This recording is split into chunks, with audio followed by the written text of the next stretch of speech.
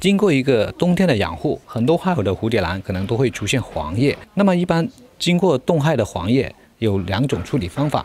第一种处理方法呢是看一下这个叶片有没有这种黑色的斑点，有这种黑色的斑点，我们一定要及时处理，避免它感染。首先我们要做的就是把这个叶片给它摘下来。有多远丢多远，不要给它里面的一些细菌感染。同时呢，我们赶紧给它用上一点杀菌药。最简单有效的就是用这种土壤杀菌剂二霉灵，因为二霉灵的话呢，它可以对土壤进行杀菌杀土的同时呢，它又可以吸收到叶片里面，清除叶片里面的一些病害。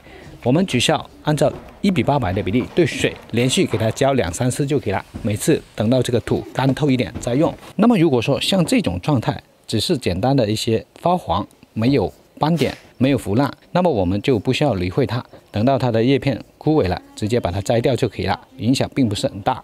那么这就是蝴蝶兰过完冬之后叶片发黄的处理方法。好了，我们下期见。